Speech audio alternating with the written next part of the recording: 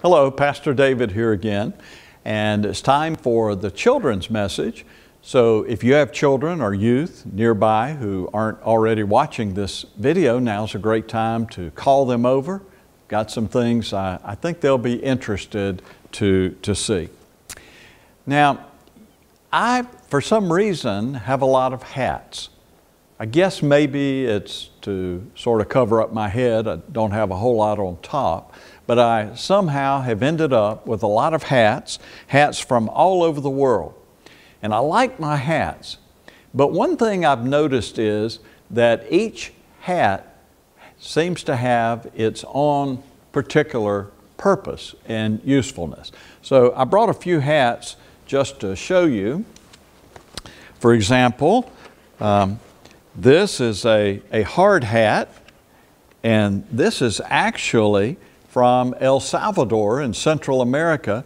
I worked on a construction project there one time some years ago with Habitat for Humanity of El Salvador building houses for the poor and they had us wear these hats and I brought mine back and it's it's a hard hat.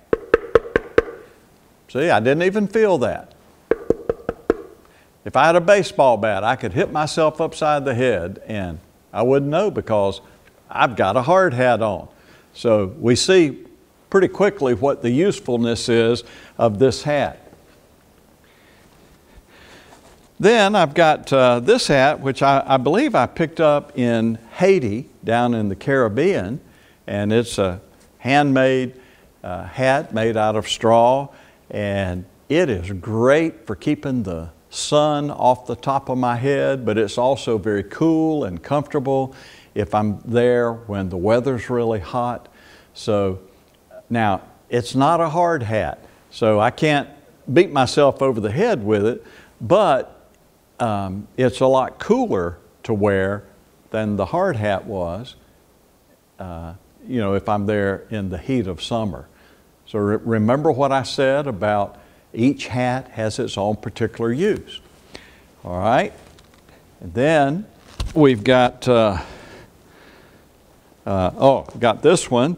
This is my United Methodist cap, and it has the Methodist cross and flame on it. So I wear this hat anytime I want to make sure that everybody knows I'm a Methodist. And they can always tell if they know what the cross and flame symbol represents, then they'll say, hey, look at that hat that guy's wearing. He must be a Methodist. And then one more hat, and this is one of my favorites. This hat is from England and it's called a deerstalker, or sometimes called a Sherlock Holmes hat. And it looks kind of funny, but it's actually made for guys to wear when they go hunting, and they can go through thick brush and not knock their hat off because you don't have a brim that's sticking out.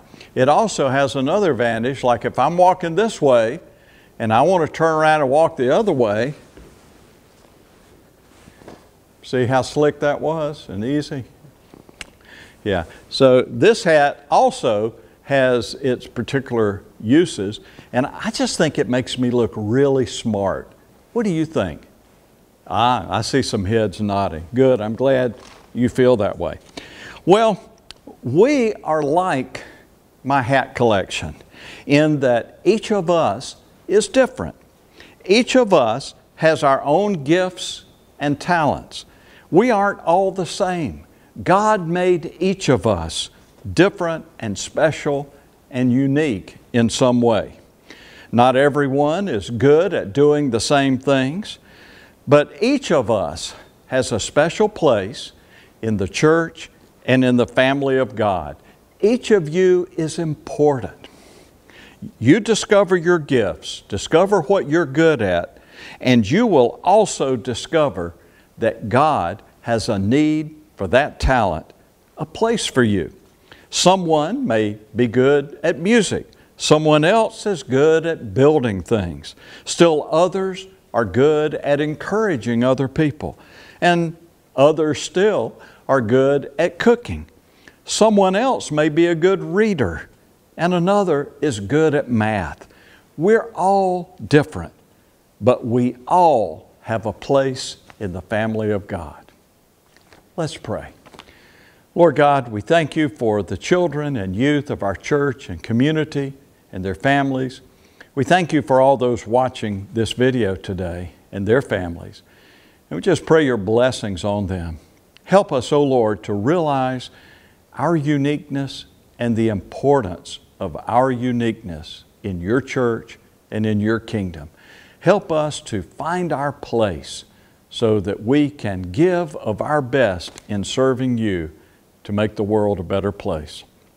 In Jesus' name we pray. Amen.